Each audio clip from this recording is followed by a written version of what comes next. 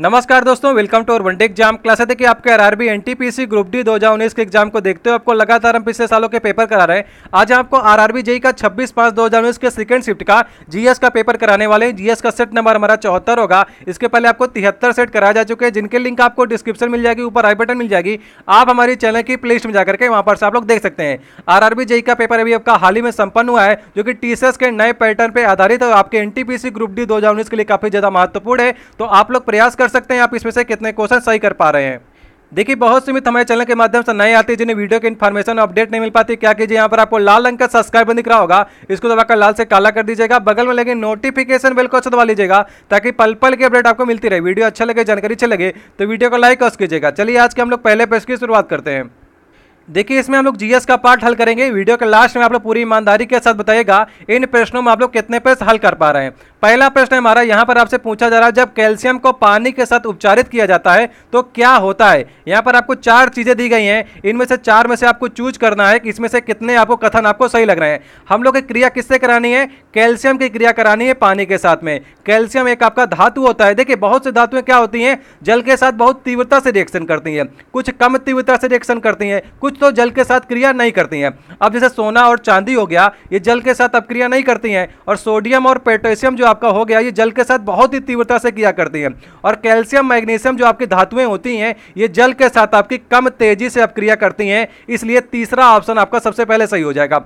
अब हम लोग क्या करते हैं? कैल्शियम की जल के साथ अपक्रिया करके देखते हैं क्या आपका प्रोडक्ट बनता है। यहाँ पर बनेगा कैल्शियम हाइड्रोक्साइड बनेगा और जब धातु के साथ हम लोग जल से क्रिया कराते हैं तो हाइड्रोजन गैस आपकी निकलती है। ये चौथे ऑप्शन में आप देख रहे हैं, बनने वाले हाइड्रोजन गैस के बुलबुले कैल्शियम के सतह पर चिपक जाते हैं, इसलिए तीसरा और चौथा ये दोनों ऑप्शन आपके सही हो जाएँगे। यहाँ पर आप देख सकते हैं, नीचे आपको रिस्पॉन्स आंसर की में देख सकते हैं आंसर की में आपको ए ऑप्शन सही लगेगा मतलब तीसरा और चौथा इसके दोनों विकल्प आपके सही होंगे। आज का हमारा दूसरा प्रश्न है। वीडियो आपको अच्छा लग रहा हो तो वीडियो को लाइक अवश्य कीजिएगा आप लोग। यहाँ पर आपसे कहा जा रहा है, डिजिटल इंडिया अवार्ड 2018 में निम्नलिखित में से किस मोबाइल एप्लीकेशन ने बेस्ट मोबाइल ऐप श्रेणी का प्लेटिनम खिताब आपका जीता है? यह भी आपका आरआरबी जेई का पेपर हाल ही में संपन्न हुआ है, जो कि नए करंट अफेयर के साथ में आपका रखा गया है इसमें। चलिए, चार मोबाइल ऐप आपको दिए गए। एक बार आप लोग लगाने का प्रयास किया करिए, उसके बाद हम आपको आंसर बताएँगे। इसका सही ऑप्शन आपका दूसरा ऑप्शन है। दूसरा ऑप्शन आपको यहाँ पर आंसर लिखा हुआ मिल जाएगा। आरआरबी ने आपके आंसर की दी है, उसी के अनुसार आपका ई कोर्ट सर्विस है आपका। ये क्या होता है? इसमें केस का आपका जैसे स्टेटस होता है केस कहाँ पर चल रहा है, कैसा आपका आगे वकील कौन है, ये इसमें से वकील भी देख सकते हैं, कहाँ पर कौन सा केस लगा हुआ है। पुलिस भी इस आपके ऐप से देख सकते हैं और आम नागरिक भी अपने केस की कंडीशन को देख सकता है। तो ये बेस्ट मोबाइल ऐप का इसको अवार्ड मिला है प्लेटिनम अवार्ड मिला हुआ है। आज का हमारा तीसरा प्रश्न है, ये देखिए यहाँ पर आपको ऊपर इंग्लिश में लिखा हुआ मिल रहा है, नीचे आपको हिंदी में लिखा हुआ मिल रहा है। अगर आपको वीडियो क्लियर नहीं आ रहा तो आप लोग वीडियो क्वालिटी को ऊपर से बढ़ा लीजिएगा और कम से कम तीन पी आपके तीन सौ साठ पी में आप लोग लगा सकते हैं। यहाँ पर देखिए क्या कहा गया विभवान्तर को स्थिर रखते हुए एक परिपथ का प्रतिरोध को आधा कर दिया गया। तो धारा पर क्या प्रभाव पड़ेगा आपसे? पूछा गया, चलिए बताइए। प्रतिरोध को हम लोग क्या कर रहे हैं? आधा कर रहे हैं। तो धारा कितनी हो जाएगी आपकी? देखिए, फार्मूला क्या होता है? V बराबर आई आर होता है। अब हमने क्या किया? है विभवान्तर को स्थिर कर दिया है तो विभवान्तर विभवान्तर से हमको कोई मतलब नहीं है। अब क्या होगा? आर को नीचे भेज देंगे तो I proportional to one by R होगा। अब आर को हम लोग आधा करेंगे तो हमारा आई जो मतलब की धारा है, वो दुगनी हो जाएगी, क्योंकि रिवर्स संबंध है, इसमें उल्टा संबंध है। अगर हम इसको आधा करेंगे तो ये दुगनी हो जाएगी धारा, ठीक है? तो कौन सा ऑप्शन आपको सही लगेगा? पहला ऑप्शन इसका सही ऑप्शन हो जाएगा। इसी प्रकार से आप लोग कीजिएगा। अगर कहता है कि धारा को आधा कर दिया है तो प्रतिरोध आपका दुगना हो जाएगा। इस प्रकार से भी आप लोग कर सकते हैं। देखिए, चौथा प्रश्न है, भारत के प्रथम फ़िल्म निर्माता कौन थे? चार ऑप्शन आपके पास में है। आप लोग बताने का प्रयास कीजिए, बहुत बार ये प्रश्न आपके एग्ज़ाम में पूछा जाता है।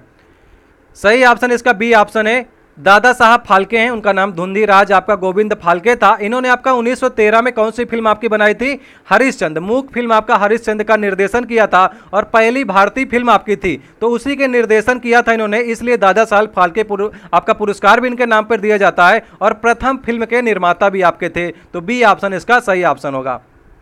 पांचवा प्रश्न है अगला प्रश्न हमारा है मलेरिया को किसके उपचार द्वारा ठीक किया जा सकता है? पेंसिलिन पैरासीटामॉल कुनैन या फिर सेट्रोमाइसिन। चलिए, बताने का प्रयास कीजिए। देखिए, इसका सही ऑप्शन आपका होगा सी ऑप्शन सही होगा। कुनैन, अभी हमने आपको पिछला सेट कराया था आरआरबी जेई का तो उसमें यह पूछा गया था कुनैन कहाँ से प्राप्त होता है? तो कुनैन कहाँ से प्राप्त होता है आपका सिनकोना की छाल, सिलकोना के वृक्ष की छाल से हमें कुनैन प्राप्त होता है और हमने उसी समय आपको बताया था कुनैन से मलेरिया की दवाई आपकी बनती है। तो वही आपका सही ऑप्शन आपका सी ऑप्शन है। अगर पूछता है सिनकोना कहाँ, सिनकोना से क्या प्राप्त होता है तो कुनैन सिनकोना से प्राप्त होता है। दोनों प्रश्न यहीं पर आप लोग तैयार कर लीजिएगा। देखिए, छठवां प्रश्न है, यहाँ पर कहा जा रहा है आपसे, निम्न फूलदार पौधों में से कौन सी लता है? चार ऑप्शन है आपको चूज़ करना है कि लता कौन सी है? अब देखिए, लता क्या होती है, आपको सबसे पहले यह समझना होगा। देखिए, लताएँ वो होती हैं जो सीधे दिशा में खड़ी नहीं हो पाती हैं। इतने लंबे, इनके, आपके इतनी लंबी होती हैं और तना इनका बहुत ज़्यादा कमज़ोर होता है। तो ये क्या करते हैं, किसी के सहारे की इनकी आवश्यकता होती है। या तो वृक्ष में ये लपट जाती हैं, या तो आपकी दीवालों में लपट जाती हैं, या तो ज़मीन पर ये फैल जाती हैं। तो ये क्या होती है, लताएँ होती है। अब देखिए, इसमें सही ऑप्शन इसका जो दिया गया है बी ऑप्शन मतलब चमेली और जैस्मीन। इंग्लिश में जैस्मीन करते हैं, चमेली जो हमारी है, इन चार ऑप्शनों में से आपको लता दिख रही होगी। चलिए नेक्स्ट क्वेश्चन की ओर चलते हैं। देखिए, सातवां प्रश्न है, यहाँ पर आपसे कहा जा रहा है, निम्न निम्न में से कौन सा अतिरिक्त संवैधानिक निकाय है? चलिए बताइए। इसको देखिए, गैर संवैधानिक निकाय भी कहा जाता है या फिर अतिरिक्त संवैधानिक निकाय भी आपसे कहा जाता है। चलिए बताने का प्रयास कीजिए। वित्त आयोग, नीति आयोग, भाषा आयोग और चुनाव आयोग। देखिए, इसका सही ऑप्शन आपका बी ऑप्शन है। क्योंकि देखिए, जो संविधान में चर्चा की गई होगी, जिसके लिए अनुच्छेद बना होगा, वो आपका संवैधानिक होगा। वित्त आयोग की भी संविधान में अनुच्छेद बना हुआ है, भाषा आयोग का भी बना हुआ है, और चुनाव आयोग का भी संविधान में चर्चा की गई है। लेकिन कुछ ऐसे आपके आयोग बनाए जाते हैं, जो संसद की परमिशन से पास कर लिए जाते हैं। वो आपके क्या होते हैं? अतिरिक्त संवैधानिक निकाय में उनकी चर्चा की जाती है। अगर बात करेंगे यहाँ पर तो यहाँ पर बी ऑप्शन आप जानते हैं। पहले इसका नाम योजना आयोग होता था। अभी आपका एक जनवरी 2015 से इसका नाम आपका नीति आयोग कर दिया गया तो ऐसे बहुत से आपके अतिरिक्त आपके संवैधानिक निकाय हैं जिनको संसद के द्वारा हम लोग पास कर लिया गया जैसे आपका सीबीआई हो गया सीबीआई को भी हमने संसद के द्वारा पास कर लिया है। राष्ट्रीय विकास परिषद हो गया आपका तो उसको भी आपने आ, आ, आपका अतिरिक्त संवैधानिक निकाय है। राष्ट्रीय मानव अधिकार भी आपका है। लोकपाल जो बना है वो भी आपका संविधान के अंदर उसकी चर्चा नहीं की गई है। तो ये सभी आपके अतिरिक्त संवैधानिक निकाय में आएँगे। देखिए, आठवां प्रश्न है, समूह सत्रह से संबंधित तत्वों को क्या कहा जाता है? समूह सत्रह, वर्ग सत्रह कह सकते हैं या फिर समूह सत्रह आप कह सकते हैं। आपको मालूम है टोटल कितने समूह या वर्ग हैं? आपके अठारह हैं। अठारहवा हमारा होता है अक्रिय नोबल गैस का होता है। और नोबल गैस से जस्ट पहले हमारा हाइलोजन आपकी श्रेणी होती है, जिसमें क्लोरीन आता है ब्रोमीन आता है फ्लोरीन आता है, ये सभी आपके तत्व जो होते हैं, वो हाइलोजन श्रेणी के आपके कहलाते हैं। इसलिए सही ऑप्शन इसका पहला ही ऑप्शन होगा। अक्रिय जो हमारा गैस होती है, वो हमारे अठारहवें समूह में आती है तो ये तो सही नहीं होगा। क्षारी धातु की बात करेंगे, पहले ही समूह में आती है। और क्षारी मृदा धातु आपके सेकेंड समूह में आती है। तो आप लोग सबको तैयार करने का प्रयास कीजिएगा।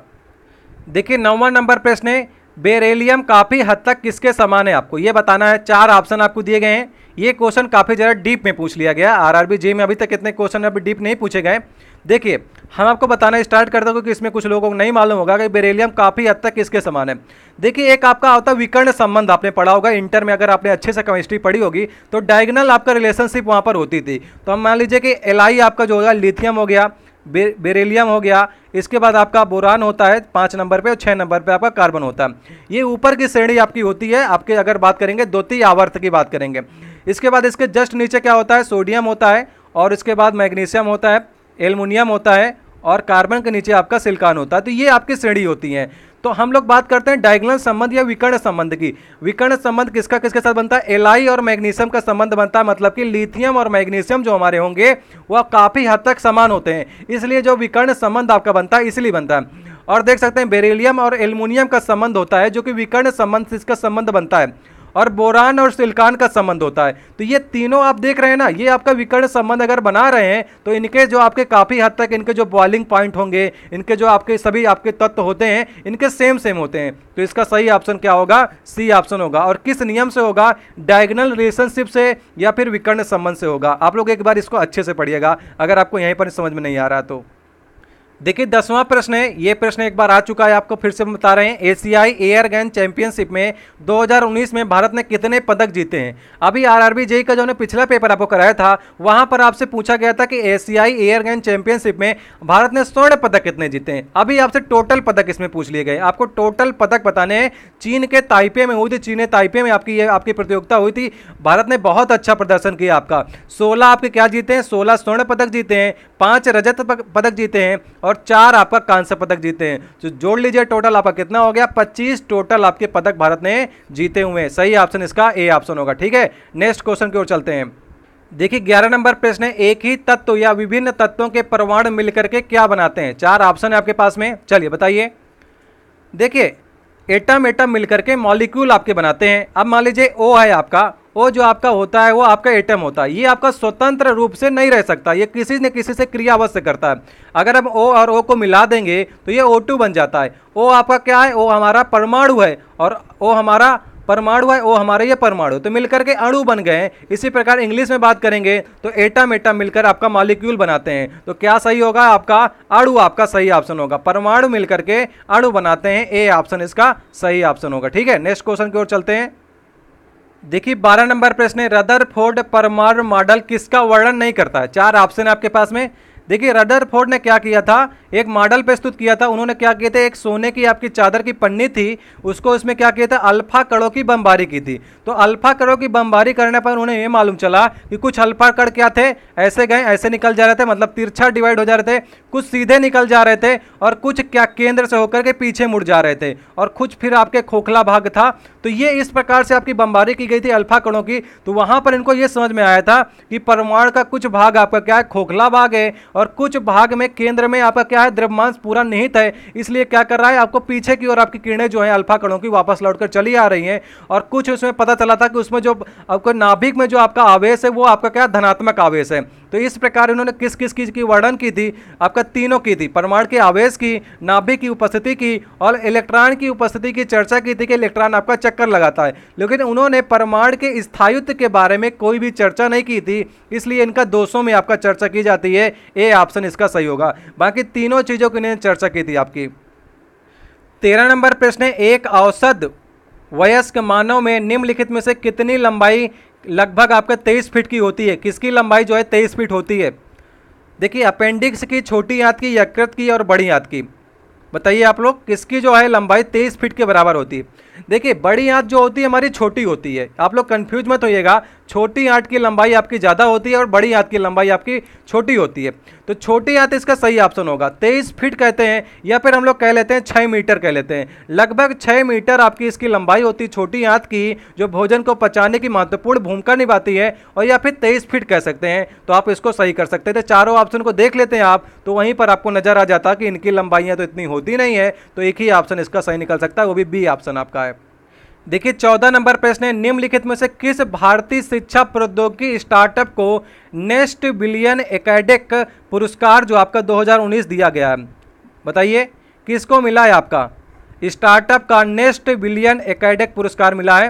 देखिए ये पुरस्कार ब्रिटेन की संस्था आपको देती है और यह मिला हुआ दोस्त एजुकेशन को मिला हुआ है। ये भारत में कार्य करती है। ये क्या कार्य करती है? शिक्षा के क्षेत्र में कार्य करती है। अभिभावकों के मोबाइल में छोटे छोटे मैसेज, ऑडियो क्लिप के द्वारा ये भेजती है ताकि शिक्षा में सुधार हो सके। और अभिभावक क्या कर सकते बच्चों को स्कूल भेजना स्टार्ट कर दें। तो ये आपका दोस्त एजुकेशन को मिला हुआ है। ये प्रश्न मुझे लगता है आपका ग्रुप डी में पूछा गया था आपका। देखिए, पंद्रह नंबर प्रश्न है। यहाँ पर आपसे क्या कहा जा रहा है कि पानी में अम्ल का विलियन बनाने का सही तरीका क्या है? अगर आप पानी में अम्ल का विलियन बना रहे हैं तो आपका सही तरीका क्या है? बताइए। बढ़िया प्रश्न है और ये आपके लिए बहुत बढ़िया प्रश्न दिया गया है। मुझे लगता है बहुत कम लोगों को ये मालूम होगा। देखिए, अम्ल में पानी मिलाना है कि पानी में अम्ल मिलाना सबसे पहले आपको ये देखना पड़ेगा। इसका पहले सबसे आपको सही आंसर बता देते हैं। इसका सही ऑप्शन आपका डी ऑप्शन है। देखिए, हमेशा क्या किया जाता है? पानी में अम्ल को मिलाया जाता है। अम्ल में पानी को नहीं मिलाया जाता है। अब अम्ल में पानी को क्यों नहीं मिलाया जाता? अब मान लीजिए अम्ल का अम्ल का एक आपका अम्ल रखा हुआ है उसमें आप पानी मिला रहे हैं। तो जैसे ही आप पानी डालेंगे, अगर अम्ल जो है आपका स्ट्रांग आपका अम्ल है तो वो क्या करेगा? वो बुलबुले आपका होगा। बुलबुले आपके निकलेंगे और उससे क्या होगी? आपकी उष्मा पैदा होती है। उष्मा से वो छींटे आपकी शरीर में पड़ सकती हैं और अम्ल आपका मालूम है, आपके शरीर में पड़ेगा तो छाले पड़ सकते हैं, आपके शरीर को काफ़ी दिक्कतें हो सकती हैं। इसलिए हमेशा पानी में अम्ल डाला जाता है, ताकि जो रिएक्शन हो रही है, उसमें आपको कोई समस्या ना हो। इसलिए क्या किया जाता है? दस्ताने पहन के किया जाता है, और आपका प्रयोगशाला का जो कोट आता है, चश्मे पहन के किया जाता है, ये सब रिएक्शन क्या होती है? बहुत खतरनाक रिएक्शन होती हैं। हमेशा जब आप जाएँगे कहीं पर रिएक्शन करने तो पानी में आपको अम्ल मिलाना है, अम्ल में पानी नहीं मिलाइएगा, ठीक है? नेक्स्ट क्वेश्चन की ओर चलते हैं।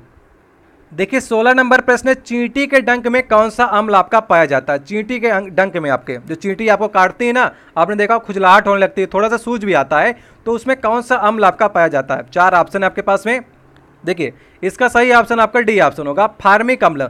फार्मिक अम्ल जिसे हम कहते हैं, क्या मिथनोइक अम्ल कहते हैं? एथनोइक नहीं कहते हैं, मिथनोइक अम्ल कहते हैं। तो फार्मिक अम्ल का आईयूपीएससी नाम जो है आपका, मिथनोइक अम्ल है। तो कहीं कहीं भी आपके मिथनोइक भी लिख कर आएगा तो आप लोग उसको टिक कर दीजिएगा। अब देखिए, चींटी कहीं पर लिख देता है कभी कभी आपको मधुमक्खी भी लिख देगा। तो मधुमक्खी में थोड़ा सा ज़्यादा होता है फार्मिक अम्ल, इसलिए मधुमक्खी का आपका जब आपको काटती है, थोड़ा ज़्यादा सूजन होती है और चींटी काटने पर थोड़ी कम होती है। तो मात्राएँ इनकी कम ज़्यादा हो सकती हैं, लेकिन अम्ल आपका यही अम्ल होता है। देखिए, सत्रह नंबर क्वेश्चन होगा, आज का इनमें से कौन सा वर्ण दर्शन से संबंधित है? या फिर कलर विजन से संबंधित, जिसे हम कहते हैं वर्ण अंधता कहते हैं, ये आपकी अनुवांशिक बीमारियों में आपकी गिनी जाती है। तो वो कहाँ पर समस्या होती है? आपकी आँख के किस पार्ट में समस्या होती है, जब आपको कलर विजन आपको होता है? चलिए बताने का प्रयास कीजिए। देखिए, काफ़ी डीप डीप क्वेश्चन पूछे जाते हैं। मतलब अब जो रेलवे का स्तर है, वो धीरे धीरे बढ़ना स्टार्ट हो गया है। पहले के क्वेश्चन आप रेलवे के देखेंगे, बहुत ईजी आते थे। अगर आप एन टी 2016 का उठा के देखें तो उसमें आपको काफ़ी ईजी क्वेश्चन मिलेंगे। आप अगर ग्रुप डी का एग्ज़ाम दिखा के, उठा के देखेंगे ए एल पी का उठा कर देख लेंगे तो आपको काफ़ी अच्छे क्वेश्चन आपको मिलेंगे। और हम आपको लेटेस्ट वाला आर आर बी जेई का पेपर करा रहे हैं तो इसमें काफ़ी और नए आपको क्वेश्चन मिलेंगे। इसका सही ऑप्शन आपका डी ऑप्शन है। शंकु कोशिकाएँ या फिर कौन सेल्स जो होती हैं, वो कलर विजन से संबंधित होती हैं। जो कि रेटिना में आपकी स्थित होती हैं। तो अगर वहाँ पर आपको समस्या हो जाती है तो आपको वर्णांधता हो जाती है, जो कि अनुवांशिक है। चलिए नेक्स्ट क्वेश्चन की ओर चलते हैं। इसका सही ऑप्शन आपका शंकु कोशिकाएँ हैं। देखिए, अठारह नंबर क्वेश्चन है। निम्न, निम्नलिखित में से कौन आपका इकोलॉजिकल फुटप्रिंट नापने की इकाई है? देखिए, कितने नए नए क्वेश्चन आपको देखने को मिल रहे होंगे। ये प्रश्न मुझे लगता है अभी तक नहीं आए रेलवे में।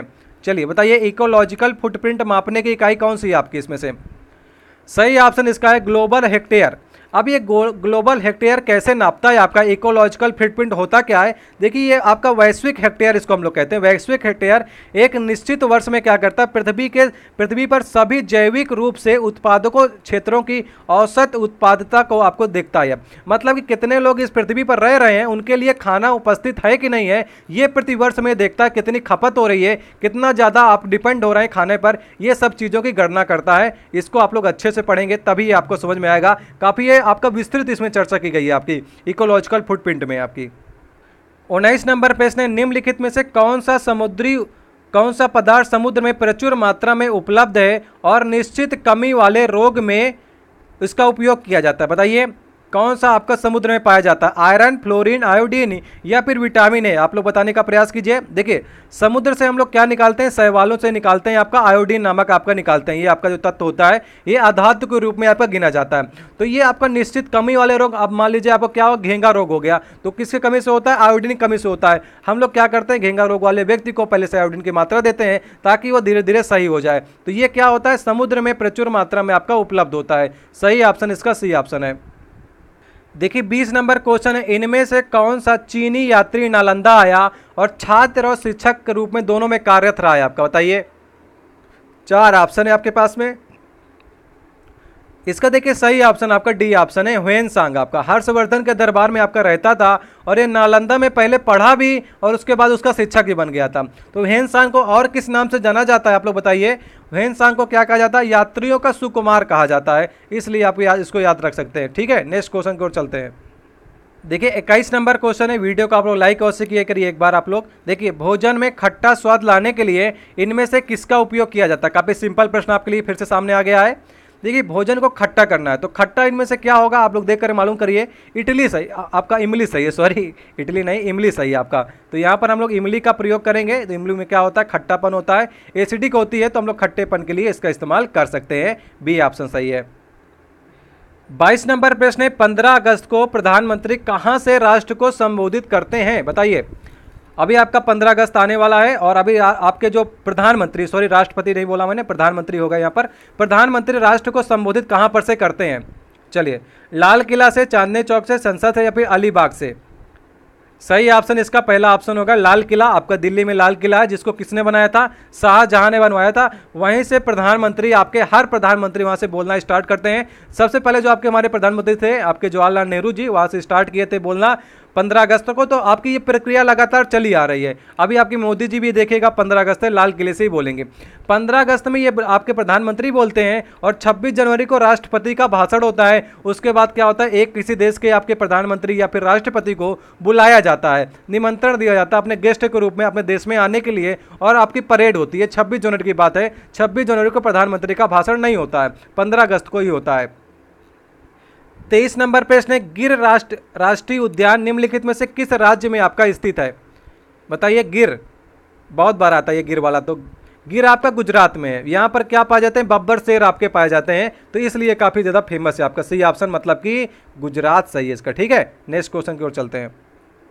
चौबीस नंबर प्रश्न है इंग्लिश चैनल को तार कर, तैर कर पार करने वाला, या वाली, पहली एशियाई कौन थी? या थे? आपसे पूछा जा रहा है। मतलब आपसे लेडीज़ पूछा भी जा रहा है जेंट्स भी पूछा जा रहा है, जो पहले हो, आप लोग बताने का प्रयास कीजिए। चलिए। ये प्रश्न काफ़ी लोग गलत कर देंगे, क्योंकि उनको ये याद होता कि आरती साहा जो थी इंग्लिश चैनल पैर, तैर कर, पार करने वाली पहली थी। लेकिन जो पहली महिला थी, यहाँ पर आपसे महिला नहीं पूछा जा रहा, आपसे पहला पूछा जा रहा, जो कि सही ऑप्शन आपका मिहिर सेन है। मिहिर सेन आपके क्या थे? उन्नीस सौ अट्ठावन में इन्होंने क्या किया था? इंग्लिश चैनल को तैर कर पार किया था। अब इंग्लिश चैनल बहुत से लोग नहीं जानते होंगे इंग्लिश चैनल कोई चैनल नहीं है, आपका टीवी का कोई चैनल नहीं है, ये क्या है आपका? फ्रांस और इंग्लैंड के बीच में, फ्रांस और इंग्लैंड के बीच में एक आपका क्या है? एक आपका समुद्र है, जिसका नाम क्या रखा गया? इंग्लिश चैनल नाम रखा गया है। तो इसको सबसे पहले मिहिर सेन ने तैर करके पार किया था और उसके बाद उनसे आपका प्रभावित होकर के आरती शाह ने उनके जस्ट एक साल बाद उन्नीस सौ उनसठ को उन्होंने भी तैर कर आपका पार किया था। तो सबसे पहले हमारे मिहिर सेन थे। अगर महिलाओं की बात करेंगे तो आरती शाह आपकी सबसे महिला महिला में नंबर प्रथम प्रथम स्थान के थी। 560 किलोमीटर का आपका ये इंग्लिश चैनल है आपका। तो इसी को आपको तैर करके पार किया था। और कितने घंटे इनको लगे थे? 14 घंटे और सहित 45 मिनट इनको पूरा समय लगा था मिहिर सेन को पार करके, पूरा पार करने में। देखिए 25 नंबर प्रश्न, ध्यान से पढ़िए इसको। निम्न में से किस देशों ने पहली बार दुनिया में हाइड्रोजन शक्ति से चलने वाली ट्रेन को सितंबर 2018 में प्रक्षेपण किया है? बताइए, कौन सा ऐसा देश है जिसने हाइड्रोजन से चलने वाली ट्रेन का आविष्कार कर लिया है? चलिए, इसका सही ऑप्शन आपका डी ऑप्शन है, जो मतलब कि जर्मनी ने किया है। जर्मनी ने क्या किया है? हाइड्रोजन से चलने वाली ट्रेन का आविष्कार कर लिया है। आपको मालूम है ना, भविष्य का ईंधन किसे कहा जाता है? बताइए कमेंट बॉक्स में आप लोग ये बताइए कि भविष्य का ईंधन किसे कहा जाता है? तो भविष्य का ईंधन हमारे हाइड्रोजन को ही कहा जाता है। अभी आपको मालूम है, रॉकेटों में जो है, हाइड्रोजन ही गैस आपकी भरी जाती है। जब आपके देखिए, पेट्रोल, डीजल आपके खत्म हो जाएँगे तो फिर हाइड्रोजन को भविष्य का ईंधन आपका प्रयोग किए जाने लगेगा। अभी ट्रेन आपकी बन गई है धीरे धीरे और भी बनना स्टार्ट हो जाएँगे आपके। छब्बीस नंबर प्रश्न है, फीफा विश्व कप हर साल कितने साल में होता है? हर बार कितने साल में होता है? फीफा आपका फुटबॉल का विश्व कप होता है। चलिए बताइए आप लोग। सही ऑप्शन बिल्कुल सिंपल है। चार वर्ष में ज़्यादातर आपके टूर्नामेंट होते हैं। चाहे फीफा वर्ल्ड कप की बात ले लीजिए, चाहे ओलंपिक की बात कर लीजिए, चाहे क्रिकेट विश्व कप की बात कर लीजिए, सब चीज़ें चार चार वर्ष के अंतराल पे ही होती हैं। अभी आपका 2018 में फीफा आपका कहाँ पर हुआ था? रूस में आपका फीफा हुआ था। अगर बात करेंगे 2022 का फीफा कहाँ पर होना है? चलिए बताइए 2022 का फीफा वर्ल्ड कप आपका कहाँ पर होना है? तो ये आपके कतर में होना है, जो दो की दोहा की राजधानी आपकी कतर है। ये आप लोग याद रखिएगा। आपकी कतर की राजधानी दोहा है। चलिए नेक्स्ट क्वेश्चन की ओर चलते हैं। देखिए 27 नंबर प्रश्न, नीलम आर्मस्ट्रांग और एडविन एल्ड्रिंग ने कब चंद्रमा में कदम रखा था? चार ऑप्शन आपके पास में। चलिए बताने का प्रयास किया सबसे बड़ी बात इसमें यह है कि दो ऑप्शनों में सेम सेम आपको ऑप्शन दे दिए गए। 1969 के दो ऑप्शन आपको मिल जाएँगे, क्योंकि 1969 इसका सही ऑप्शन है। कुछ लोग केवल सन को ही याद कर लेते हैं। अभी जब मैंने आपको बताया था, चंद्रयान आपका टू जब जा रहा था तो मैंने आपको इसके बारे में बताया था कि बाईस जुलाई को आपका चंद्रयान गया था। और इसके बाद जो हमारा नील आमस्ट्रांग का लगभग कितने साल, आपके 50 साल पूरे हो रहे थे। उसी के उपलक्ष्य में 22 जुलाई को भारत ने आपका चंद्रयान मिशन टू आपका भेजा है। तो हम लोग आपको उसी समय आपको बताया था कि 20 जुलाई 1969 को नील आर्मस्ट्रांग और एडविन एल्ड्रिन ने आपका चंद्रमा पर कदम रखा था। दोनों लोग साथ में ही गए थे, लेकिन देखिए नील आर्मस्ट्रांग वहाँ के लीडर थे आपके तो उन्होंने पहले कदम रख दिया। हम लोग उनका नाम याद कर लिए। दूसरे नंबर पर कदम किसने रखा था? एडविन एल्ड्रिन ने कदम रखा था। तो इसको भी आप लोग याद रख लीजिएगा। अब क्वेश्चन आपका आने लगा कि सेकेंड नंबर पर किसने चाँद पर कदम रखा था? तो एडविन एल्ड्रिन थे, उन्हीं के साथ में गए थे नाइनटीन में। ठीक है नेक्स्ट क्वेश्चन की ओर चलते हैं।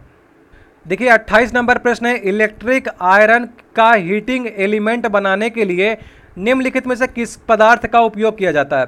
मतलब कि आपका जो हीटर होता है और जो आप प्रेस का, प्रेस आप प्रयोग करते हैं कपड़े में प्रेस करने के लिए, उसमें किस धातु का इस्तेमाल करते हैं आप लोग? किस मिश्र धातु का इस्तेमाल करते हैं?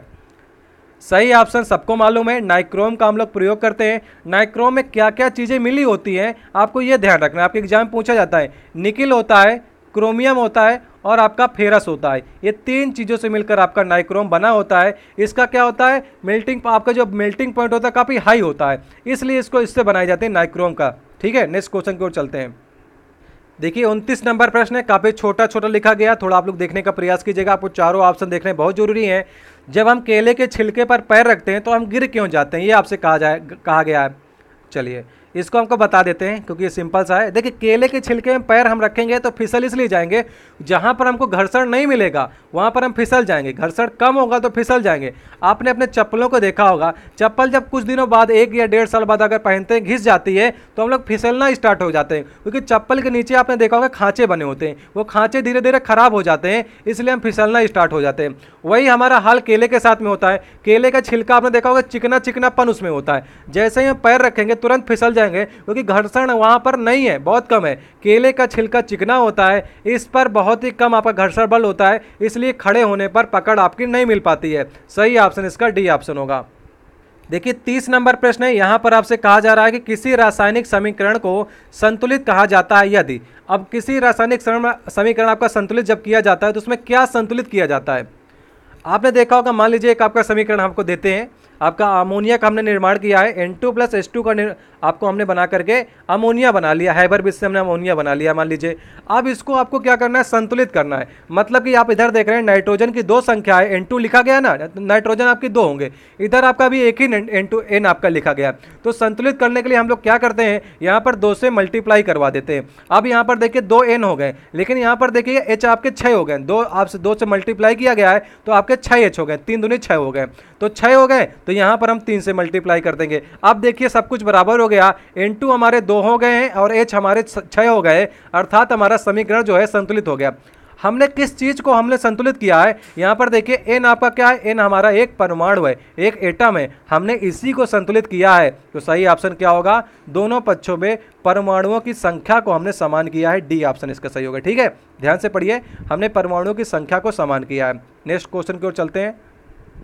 देखिए, इकतीस नंबर प्रश्न है निम्नलिखित में से वो कौन सा नियम कहता है कि ब्रह्मांड में स्थित प्रत्येक वस्तु, प्रत्येक दूसरी वस्तु को एक बल से आकर्षित करती है और उनके द्रव्यमानों के गुणनफल के समानुपाती और उनके बीच की दूरी के वर्ग के व्युत क्रमानुपाती होती है। मतलब कि आपसे कौन सा नियम आपसे पूछा जा रहा है? चलिए, बताने का प्रयास कीजिए। चलिए, सही ऑप्शन इसका हम आपको बता देते हैं, क्योंकि बहुत छोटा छोटा आपको दिख रहा होगा। सर्वात्रिक गुरुत्वाकर्षण का ये आपका नियम होता है। अब सर्वात्रिक गुरुत्वाकर्षण का नियम क्या है? बड़े बड़े पिंडों पर लगता है। ग्रहों, उपग्रहों के बीच में ये सब चीज़ें ज़्यादा लगती है, क्योंकि उनके पिंडों का वज़न काफ़ी ज़्यादा होता है।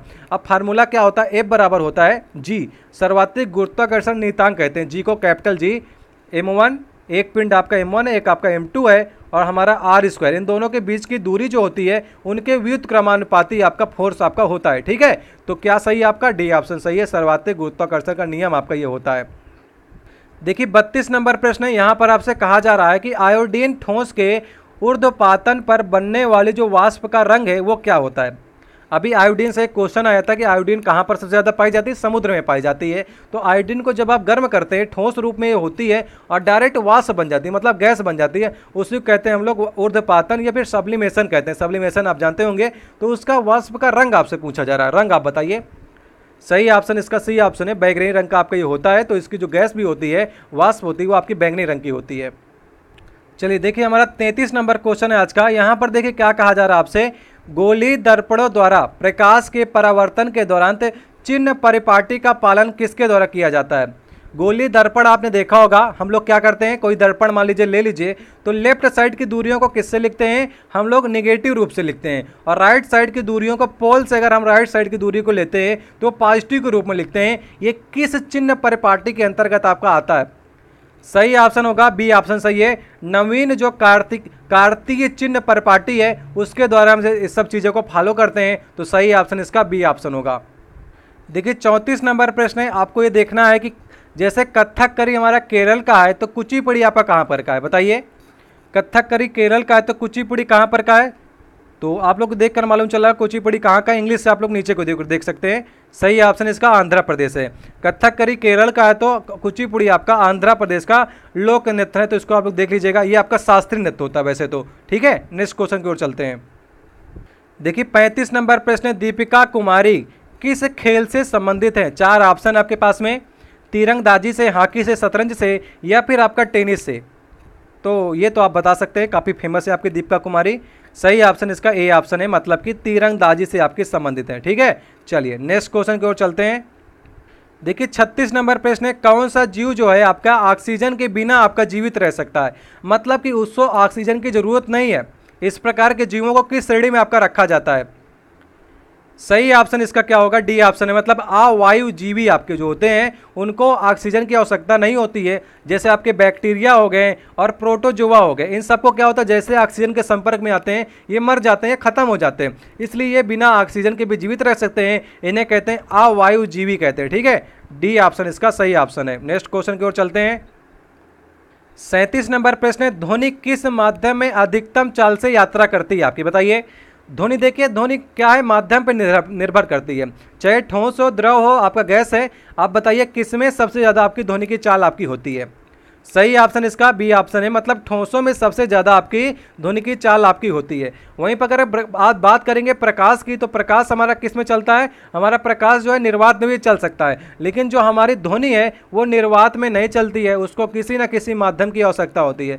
अगर बात करेंगे रेलवे ग्रुप डी में, इन ठोसों के अंदर से भी आपसे पूछ लिया जाता था कि ठोसों में भी सबसे ज़्यादा किस्में होती है। तो एल्मोनियम में सबसे ज़्यादा होती है ठोसों में। उसके बाद निकिल में होती है, फिर आपका इस्पात हो गया, फिर आपका लोहा हो गया। इस प्रकार से आपका सही ऑप्शन था उसमें से। सही ऑप्शन इसका बी ऑप्शन है। अड़तीस नंबर क्वेश्चन है, एक किलो वाट शक्ति किसके बराबर होती? है बताइए, एक किलो वाट कितने वाट के बराबर होता है? ये शक्ति का मात्रक आपको मालूम है वाट होता है। सही ऑप्शन इसका एक हज़ार वाट सिंपल सा है, एक हज़ार वाट के बराबर होगा, एक किलो वाट आपका एक हज़ार वाट के बराबर होगा। नेक्स्ट क्वेश्चन को चलते हैं। देखिए, उनतालीस नंबर प्रश्न है, वाहनों में मौजूद कौन सा उपकरण जो है, पेट्रोल और डीजल के जलने से उत्पन्न होने वाली जहरीली गैसों को हानिकारक गैसों में परिवर्तन कर देता है?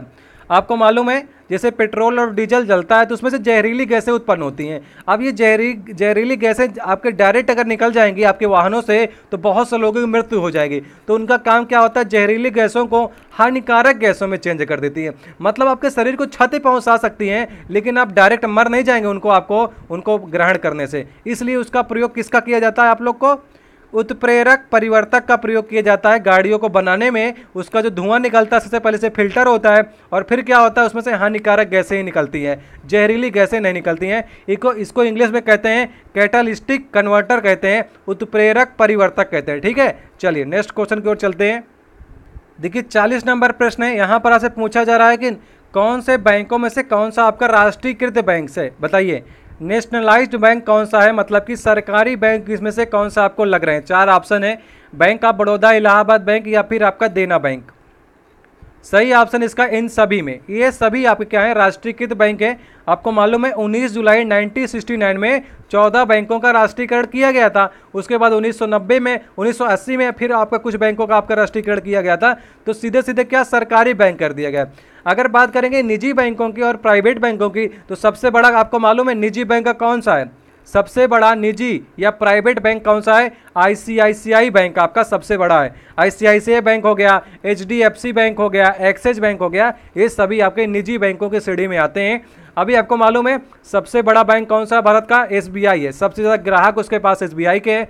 दूसरे नंबर हमारे आईसीआईसीआई बैंक आता है, दूसरे नंबर पे। और तीसरे नंबर पे बैंक ऑफ़ बड़ौदा, जिसमें तीन बैंकों का विलय हो गया है। बैंक ऑफ़ बड़ौदा का, पीएनबी का, उसके बाद आपका देना बैंक का। इन सब का विलय हो गया है तो तीसरे नंबर का बैंक आपका बन गया है।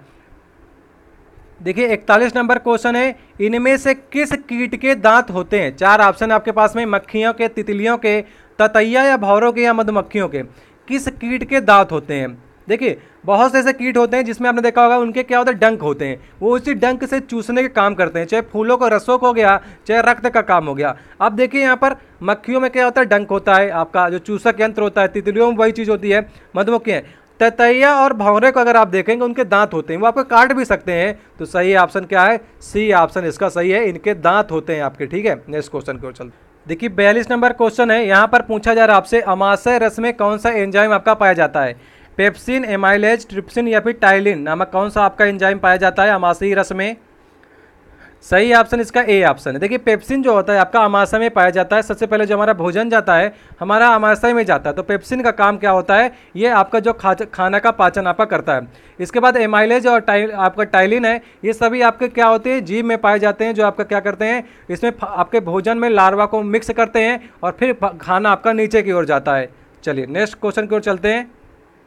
देखिए, तैंतालीस नंबर क्वेश्चन है। देखिए, यहाँ पर लिखा गया, sodium, magnesium, aluminium, silicon, phosphorus, silk, आपके सल्फ़र, क्लोरीन और आर्गन, ये आपके आधुनिक आवर्त सारणी में किस आवर्त में रखे गए हैं? चार ऑप्शन है, तृतीय, द्वितीय, चतुर्थ और प्रथम। देखिए, सोडियम 11 होता है, मैग्नीशियम 12 एल्युमिनियम 13 सिलिकॉन 14 फास्फोरस 15 16 17 इस प्रकार से आपके लिखे गए परमाणु क्रमांक के बढ़ते क्रम में मतलब कि इसमें देखना आवर्त में क्या होता है, हम लोग बढ़ते क्रम में लिखते जाते हैं। अगर आप देखेंगे, हलीना होता है। अगर आप पहले बात करेंगे, जो पहले वर्ग में आपके तत्वों की संख्या है, इस प्रकार से लिखते हैं, हलीना हम लोग याद करते हैं ना? हल तो ये आपका ना। एन आया आपका? तो कौन से आवर्त में गया? तीसरे आवर्त में गया। पहले आवर्त में आपका कौन सा जाता है आपका? आपका हाइड्रोजन और हीलियम आते हैं। दूसरे आवर्त में आपके कौन से आते हैं? लिथियम वाले तत्व आते हैं। और तीसरे में हमारे कौन से आते हैं? सोडियम आता है। सोडियम से स्टार्ट होता है हमारा। तो सोडियम हमारा तीसरे आवर्त में आपका आएगा। सही ऑप्शन इसका ए ऑप्शन हो जाएगा। ठीक है? नेक्स्ट क्वेश्चन की चलते हैं। आज का देखिए चौवालीस नंबर क्वेश्चन होगा, आज का लास्ट क्वेश्चन होगा। टोटल में पैंतालीस क्वेश्चन इस सेट से मिले हुए हैं और हमने आपको चौवालीस हल कराने का प्रयास किया है। समानता किस पेड़ की टहनी या डाल का उपयोग दांत को साफ़ करने के लिए किया जाता है? बिल्कुल सिंपल प्रश्न है। गाँवों में अभी आप लोग देखते होंगे, अभी भी आपका इस्तेमाल किया जाता है। आम, नीम, केला और सागौन। अभी तो धीरे धीरे वनों का धीरे धीरे खत्म हो रहे हैं तो इस समय नीम के पेड़ आपको कम दिखाई पड़ते होंगे। नहीं, पहले नीम के पेड़ से ही आपकी टहनी से दांत से आप किया जाता था, अभी भी आपके गाँवों के लोग जो हैं, ग्रामीण क्षेत्र के लोग, अभी भी इसमें भरोसा करते हैं, सही ऑप्शन इसका क्या है?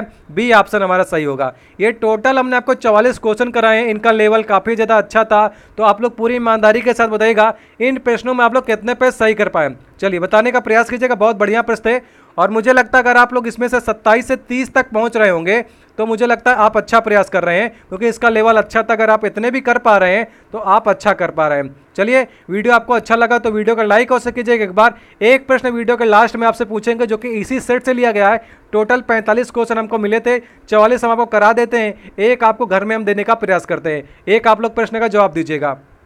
चलिए, आज का 45 नंबर क्वेश्चन है। आज का लास्ट क्वेश्चन होगा आप लोग के लिए, इसको आपको करके लाना पड़ेगा। भारत में इनमें से किस जगह पर हीरे की खान आपकी प्रसिद्ध है? पन्ना में, पिलानी में, पटना में या पीलीभीत में? हीरे की खान आपसे पूछी जा रही है तो चारों ऑप्शनों को ढंग से देखिएगा और बताने का प्रयास कीजिएगा। कोलार और हट्टी की खाने जो कर्नाटक में पाई जाती हैं, वो सोने के लिए फ़ेमस है। लेकिन इसमें आपसे हीरा के लिए पूछा जा रहा है। चलिए, जिनको भी आता हो आप लोग बताने का प्रयास कीजिएगा। और पूरी ईमानदारी से अपना स्कोर कार्ड बताइएगा। आपको प्रश्न पत्र का मीडियम कैसा लगा? हार्ड लगा या बहुत हार्ड लगा? या सरल लगा या मध्यम लगा? इस प्रकार से आप लोग बता दीजिएगा। जाते जाते एक बार सभी लोग आप लोग वीडियो को लाइक कर दीजिएगा। और जितने हमारे नए मित्र अगर आप वीडियो आपको थोड़ा सा ही पसंद आया हो तो लाल रंग की आपको सब्सक्राइब की बटन दिख रही होगी, उसको दबाकर लाल से काली कर दीजिएगा। और बगल में लगे नोटिफिकेशन बेल को आप लोग ऑन कर लीजिएगा। तीन आपके ऑप्शन आते हैं नोटिफिकेशन बिल के। ऊपर वाली आप लोग ऑन कर देंगे तो आपको सारे के सारे नोटिफिकेशन हमारे प्राप्त होंगे। उसको आप लोग ऑन कर लीजिएगा, ऊपर वाले नोटिफिकेशन को। उससे क्या होगा, शाम को जब चार बजे हम वीडियो डालते हैं तो सबसे पहले आपके पास नोटिफिकेशन आ जाएगा और आपको वीडियो देखने को मिल जाएगा, ठीक है? नेक्स्ट वीडियो में फिर से मुलाकात होगी। अगर किसी प्रश्न में आपको डाउट होता है तो आप लोग कमेंट बॉक्स में कह सकते हैं, उसकी चर्चा हम लोग नेक्स्ट वीडियो में कर लेंगे। बहुत बढ़िया प्रश्न है, सभी प्रश्नों को तैयार कर लीजिएगा। जो प्रश्न नहीं आ रहे हो, उनको कॉपी में नोट डाउन कर लीजिएगा। अगर आप लोग कॉपी में नोट डाउन करते हैं ना तो आपके दिमाग में वो स्थायी रूप से हो जाता है और फिर आप उसको गलती नहीं करेंगे, ठीक है? नेक्स्ट वीडियो में फिर से मुलाकात होगी। बहुत बहुत धन्यवाद आप लोगों का।